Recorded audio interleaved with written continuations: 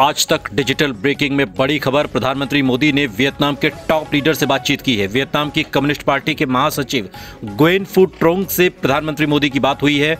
दोनों में क्षेत्रीय और वैश्विक मुद्दों पर विचार का आदान प्रदान हुआ है। आपको बता दें कि पीएम ने दोनों देशों के बीच ऐतिहासिक रिश्तों का उल्लेख किया है। भारत और वियतनाम के बीच रक्षा साझेदारी को बढ़ाने पर भी सहमति बनी है।